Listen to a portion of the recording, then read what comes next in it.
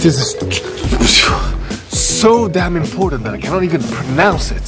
For me to find a new dream and to dream constantly, because in essence, in essence, it's all about dreaming, and then the world will be aligning towards it. Well, at least you would be.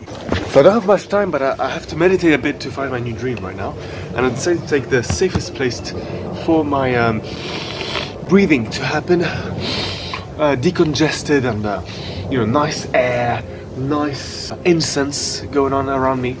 So I brought my meditation glasses. Okay, these accelerate the meditation, open-eyed meditation. And based on the law of frequency, the very law of frequency that guides all of our dreams, I'm tuning to a new dream.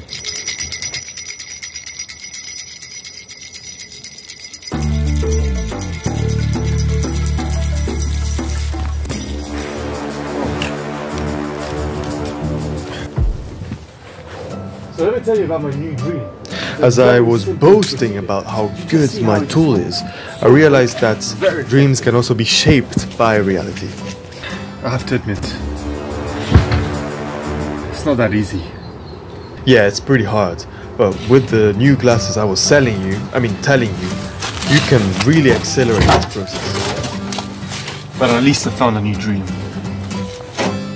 To build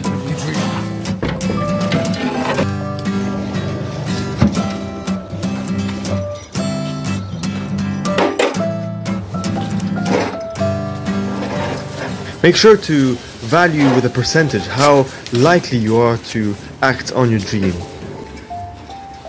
And as he walks backwards, he looks behind. Oh, that's a nice slide, yeah. Uh, wonderful, yeah. And that's how you grow a new dream. Tune to the frequency, then plant your seeds, and good to go.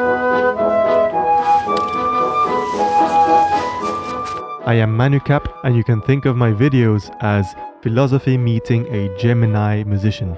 My quest here is to understand the power of music on the mind.